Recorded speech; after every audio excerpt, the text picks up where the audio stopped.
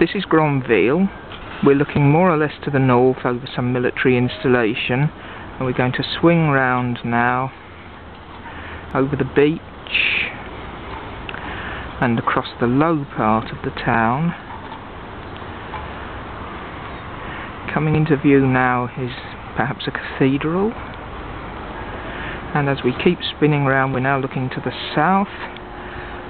I'll stop and hear the cathedral. Two o'clock I believe.